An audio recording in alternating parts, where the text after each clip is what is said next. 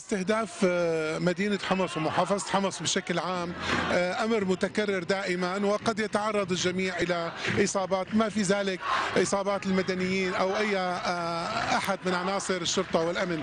لكن الحمد لله اليوم كانت الإصابات بسيطة والأضرار معظمها مادية وتضرر أحد عناصر الشرطة بإصابة متوسطة. والحمد لله الأمور بخير. وكما تعلمون اليوم نحن نتابع آه، المباراة الرياضية بين فريق الاتحاد وفريق الكرامة. لا شك أن مصادر القذائف التي تأتي آه، إلى مدينة حمص هي مصادر تواجد المسلحين ويستهدفون دائما آه، إما النشاطات والفعاليات الاقتصادية والاجتماعية أو يستهدفون المدنيين في كل مكان.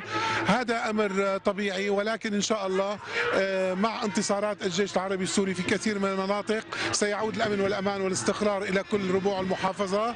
ومع نجاح المصالحات القادمة والجهود مستمرة من أجل تحقيق مزيد من المصالحات وخصوصا في حي الوعر سوف تعود الأمور آه، إلى الأمان والاستقرار وإلى ظروف أفضل آه، لحياة المواطنين ونشاطاتهم الاقتصادية والاجتماعية خلال الفترة القادمة.